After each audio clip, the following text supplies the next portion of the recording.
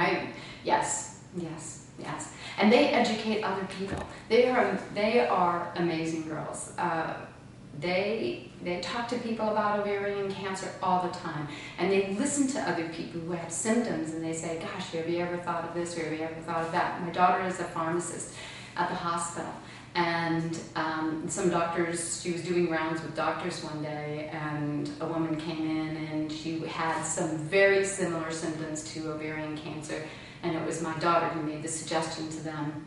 Why don't you do a CA125 and a transvaginal abdominal uh, ultrasound on this woman and you know and and sure enough it turned out that she had ovarian cancer and they would have never thought that and so you know i find that they're ed- educating other people as well which makes me really proud of them